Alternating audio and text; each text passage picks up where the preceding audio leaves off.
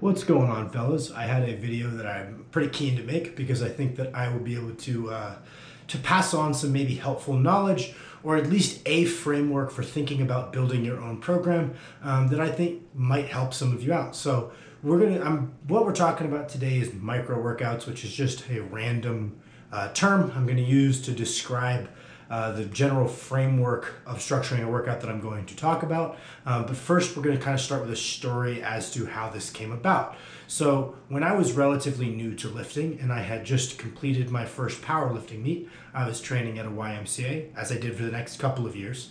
Um, and I went to see if there were any powerlifting gyms in Seattle. Um, powerlifting had grown a reasonable amount around this time when I was getting into it, but due to the very high costs of being in Seattle, there were no power like true powerlifting gyms within Seattle proper for the most part. Um, so I was looking around and I found a website that I'm not sure if they still are around, but Powerlifting Watch used to have a gym finder where you could type in where you are and uh, different gyms could basically apply to be on there just to like say, hey, uh, we're a powerlifting friendly gym. Not necessarily a powerlifting gym, but a, a gym where powerlifting, the activity is not frowned upon. Um, and I remember seeing uh, Bull Stewart's gym. And I was like, oh, that's interesting. I'm all right. I like the YMCA. Uh, and then towards the end of my senior year of high school, we were asked to do a internship, find some local business that would let us uh, just kind of hang out there every day uh, and then we would come back and present on what we did. And through a connection at the school, I actually ended up uh, interning at Bull Stewart's gym. Uh, Bull Stewart was actually a multiple time world champion back when the AAU and the IPF were kind of the same thing. There was this big drug tested powerlifting organization. Uh, Bull Stewart was a multiple time world champion in the 275 pound weight class. Uh, absolute genetic freak, even at 60 when I was working for him. Didn't lift anymore, just diesel as hell. Very, very strong. Uh, you know, and I was enamored with what was going on around me. I was like, oh, this is great. I found someone who's much, much better at this hobby than I am. Um, and so I immediately, you know, I read everything I could find on the internet because I've always been very passionate about strength training. Um, and I kind of was like, okay, I've got daily undulating. I've got all, I've got all this on lock. I've been researching like a madman, listening to podcasts on the bus on my way to the gym every single day. I feel like I know a reasonable amount, so I started picking Bull's brain. And the way he talked about training was so foreign to what I had learned. Uh, and largely, it was much more simplistic, right? We're talking about a lifter who is competitive in the 80s, uh, before most of the methodology that we've established uh, nowadays was really well known at all. Uh, and it was it was a very different framework of thinking about preparing for competition, and I found it very interesting. And uh, on a tangentially, Nick Best, the world's strongest man, uh, the world's strongest man uh, competitor who started out in powerlifting, actually cites uh, Bull Stewart alongside Ed Coan and some other guys as the one who taught him how to train. Which, funnily enough, uh, watching Nick Best's videos, the way he talks about training very much reminds me how Bull talked about training, and the way they talk about it is this is a good workout they didn't talk about exercise selection or frequency or, you know, what progression scheme we're going to use. They're just like, this is a good combination of exercises in this order for these rep ranges. I found it highly effective for myself. You should try it.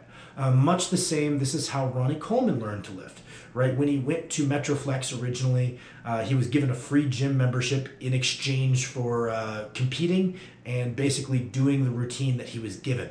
And he was just given a set split with set workouts, and they didn't change for the better part of 15 years across uh, Ronnie Coleman's wildly successful competitive career. So obviously, we can't just do as Ronnie Coleman did and expect the same results. That's not what I'm saying. But I do like this old school framework. Obviously, I put a tremendous amount of thought into training as I think it's what's very interesting. But I also think there's genius in simplicity. And I like passive, like the idea that you could just say, like, hey, this exact workout, my back used to be small and weak. I got this routine from a guy with a big, strong back. I started doing this routine verbatim. I got good results. Maybe you should try it. I like the simplicity in that. Is it really the is it the pinnacle of program design? Absolutely not. And it's probably best the best way to train for powerlifting with the amount of individual variance that we're looking at. Probably not. But I can't help but like that structure just because it's such a simple framework that's easy to get buy-in from people on and it, it does drive results. Maybe they're not 100% optimal but passing on a decent workout that person will also get decent results from the workout. You guys will hear me talk a lot about how there is no real optimal. Optimals are probably there's a variety of paths that lead to about the same competitive outcome. So you can kind of pick the preferential one much the same. We have a lot of creativity in creating a workout. So the fact that it's cookie cutter doesn't always necessarily mean that it's bad especially from a hypertrophy perspective. So how can we look at this from the framework of us guys who are trying to get stronger right? We're building our program, and the first thing we're going to look at in a training week, which is probably the length of your microcycle, is how often should I be doing each lift? And uh, I get asked this a lot. I would recommend probably three pressing sessions, two squatting sessions, and one deadlifting session. If you're a little bit longer limbed, maybe that looks like one and a half squatting sessions where one back squat, one front squat. Uh, maybe that might look like one and a half deadlifting sessions, one deadlift, one RDL. If you handle deadlift volume really well, that might look like two deadlifts, but roughly that three, two, one frequency. So we build that. I mean, if we're really strong or and or you're a super heavyweight, you know your work capacity sucks, or and or you know you don't sleep enough and or you know you don't eat right and you have limited recovery capabilities maybe we go a little bit lower on the frequencies so okay, cool. We have a number of times we uh, we hit a lift. Then we need to find how many sets we're going to do on each lift, or how many sets we need to do to get better on each lift. And this is very individual. It's just going to be found through trial and error. You find, hey, I feel like I'm doing nine sets, working sets of bench a week, and I'm just not getting better, but I am recovering chances are the issue is that you need to do a bit more.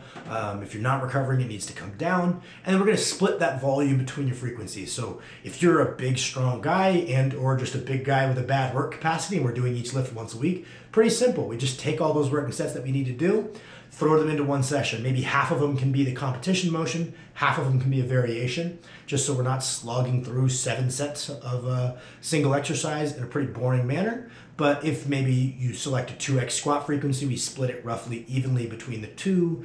Um, and we find we find these things, right? So whether we're doing SBD day just comes down to whether we need to do SBD days to reach the desired frequency. If you're someone who just like the more often you bench, the better your bench feels, and you want to work your way up to 5x bench frequency, uh, you're going to need to do multi compound lift sessions, which is okay.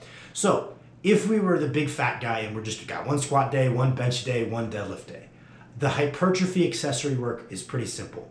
We just do on the bench day, we hypertrophy the primary movers of the bench. On the squat day, we hypertrophy the primary, primary movers of the squat to end the session.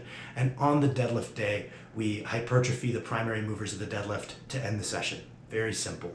This can get a little bit more complicated when we're hitting like, okay, today is primary squat, secondary deadlift, but I have another squat day when we're doing like these SBD days, we can't hypertrophy all the primary movers for every motion. It's not going to happen. The session would be comically long, right? So what we can do is instead, we don't have this clear delineation of when to do what hypertrophy where. We can basically just underlay a hypertrophy split under our like top, which is the the split that we're using for our strength training. We could just do a PPL. We could do an upper and lower for the hypertrophy workouts to end the sessions. Um, and what this is where I kind of get into if you have a lagging body part, you want to probably make sure that you have one of these micro hypertrophy workouts, so micro workouts dedicated to building up that muscle. And I usually like them to be two, no more than three motions long. And I like sharing with people the micro workouts that I have found effective. So what we're going to go through is these micro workouts to end our session. We let's say roughly three quarters of our time is spent building uh, the two to three, one, two, three main compound motions. We're getting in the number of work sets. We're doing our variations that we might need to do. And then we have this 25% to end, and that's the hypertrophy uh, focused part of our session, our micro workout. Um, so I'm just going to share with you guys micro workouts that I have found efficacious for just a couple of body parts because uh, I don't think that they're all necessarily created equal. Obviously, we have to work within the constraints of, hey, if I did deadlifts, my lower back is probably pretty torched. If I'm going to do an upper back uh, micro workout, the considerations for this micro workout is it might need to limit axial loading, right? But kind of going top up. The one that I like to give people who really have underdeveloped quads is basically stripped directly from uh, Tom Platz. Tom Platz, his old routine was quite simple. He would squat, and then he would hack squat, and then he would leg extension. So to do a micro workout following squats to emphasize the quads, I really like having people work up to one really tough set, uh, probably higher reps on the hack squat, and then do uh, basically volume on the leg extension. And if they have uh, poor knee health, their knees tend to get banged up a little bit easily, we just switch the order here. So we make sure that we do the leg extensions first, get a big pump in the quads, make sure that joint is fully warm. And by pre exhausting the quads, the absolute loading that's gonna run through the knee joint on the hack squats is gonna be less. So let's say we're working up to a set of 15 either way. If we do leg extensions first, we're pretty fatigued, we have to use a little bit less weight. Um, the, the hamstrings is a relatively simple one. It can look something like, depending on your fatigue, it can look like an RDL. Uh, and then a hamstring curl, so just a hip hinge and then knee flexion. It can look like a dumbbell RDL to take a little bit of weight down, really focus on mind muscle connection, and then a, uh, a hamstring curl, or it could be as simple as just doing back extensions and hamstring curls, right, for volume on both. Or if you have a GHD, it could be, hey, I'm going to hit a certain number of working reps of the ham curl portion, and then I'm going to hit a certain number of working reps of the back extension.